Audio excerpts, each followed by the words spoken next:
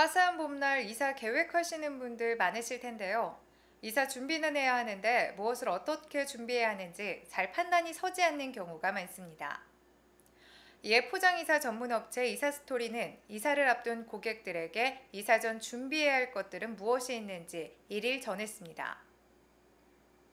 이사스토리 관계자는 이사 20일 전 첫 번째로 이사 종류를 선택한 다음 이사업체를 선정해 계약해야 하며 두 번째로 서랍, 베란다, 창고, 다용도실, 욕실 등에서 버릴 물건을 정리하고 세 번째로 불필요한 물품은 전 주소지에서 처분하는 것이 편하다고 말했습니다.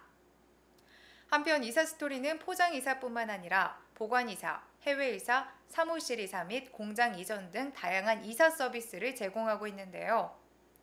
또한 서울, 인천, 청주, 부산, 대구, 울산, 광주 등 전 지역에서 사무실 원룸 이사 견적을 5톤 기준으로 쉽게 알아볼 수 있도록 비용 안내 서비스를 진행하고 있습니다. 지금까지 1분만 들어도 도움되는 생활경제 팁, 아시아 뉴스통신TV 경제톡톡의 김수지였습니다.